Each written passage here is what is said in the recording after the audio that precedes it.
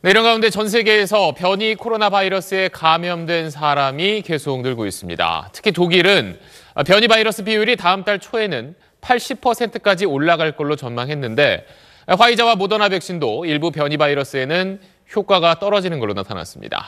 정혜경 기자입니다. 독일 코로나19 확진자 수는 최근 일주일간 인구 10만 명당 57명으로 떨어졌습니다.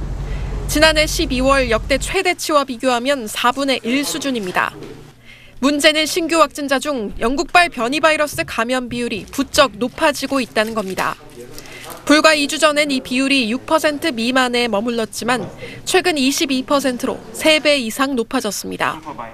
독일 질병보건당국은 이런 속도라면 다음 달 초엔 변이 바이러스 비율이 80%에 이를 것으로 예상했습니다.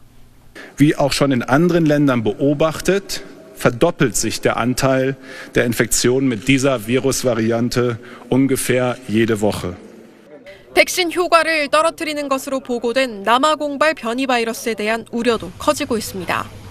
화이자와 모더나사는 자사 백신의 항체 보호 수준이 남아공 변이 바이러스에 떨어지는 것으로 확인됐다고 최근 의학 저널에 시인했습니다.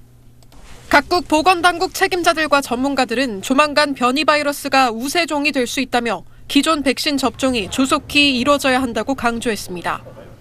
영국 정부는 백신 접종을 서두르는 한편 무증상자들도 적극적으로 코로나 검사를 하도록 유도하기 위해 신속 검사 키트를 하루 40만 개씩 각 가정과 직장에 우편 배송한다는 계획을 내놨습니다. SBS 정혜경입니다.